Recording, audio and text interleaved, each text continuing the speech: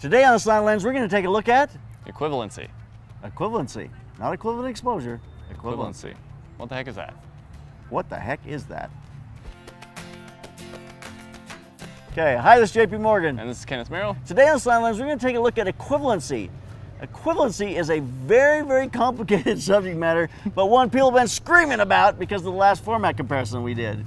Yeah, so we did a format comparison a little while back, and everyone on there kept saying, equivalency, you should have shot equivalent exposures, you're letting different amounts of light in the camera, and I was just like, what are these people talking about? I obviously am not a professional because I don't know what this is. Obviously, we don't have a clue what we're doing. So I did a deep dive and researched what equivalency is, and it's actually extremely interesting, and we're gonna tell, tell you all about it.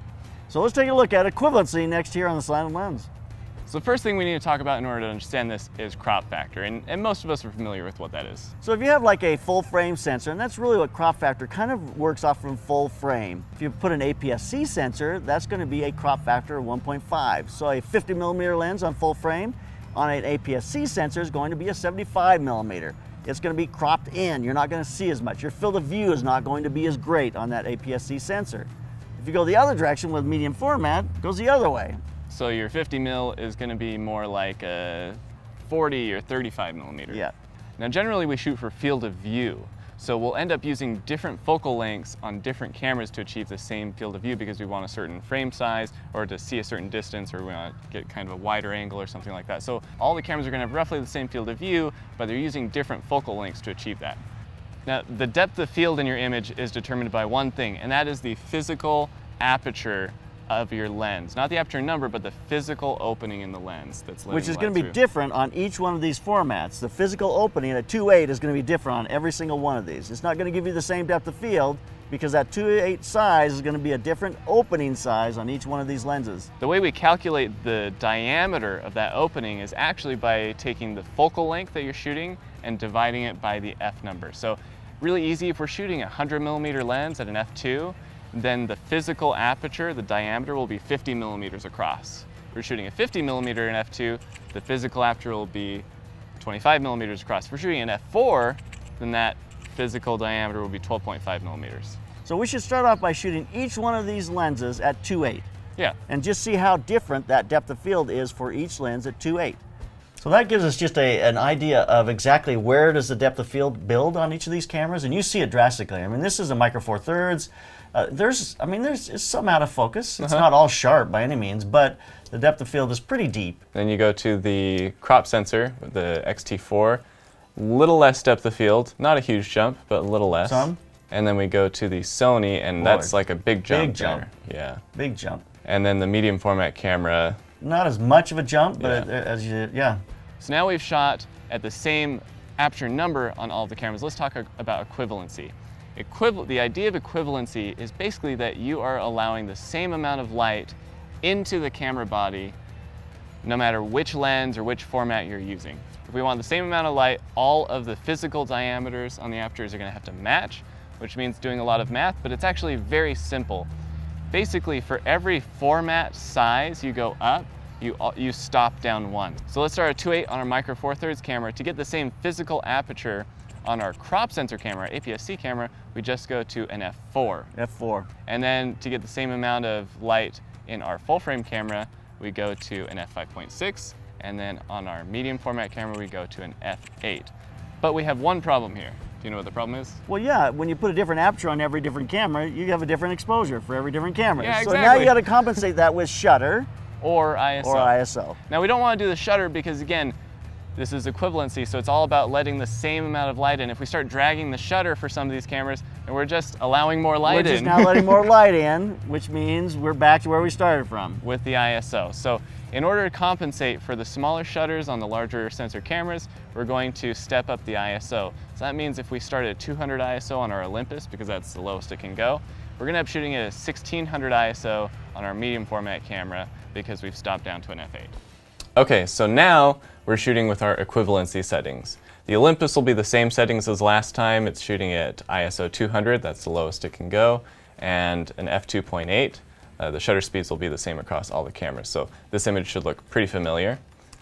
And then we go to the Fuji X-T4, and man, it does look pretty similar. Very similar focus-wise. Yeah, you look at the king in the back. I mean, our focus is holding about the same from the three to the five. Yeah, very Yeah. very similar. Yeah. And this is this is not a two eight. This is this is four. This is a four, yeah. So Yeah. the Fuji is at a four, and we have basically the same Basically amount the of depth same of depth field. field. So that means we have to go to five six on the next one at that. Yeah, pretty similar. I, you know, maybe if I want to nitpick this, maybe there's a slight difference in terms of focus between Yeah. the Fuji and, and the Sony. The Sony might be slightly shallower, but So yeah, this is now at at uh, f eight. this is at an f8.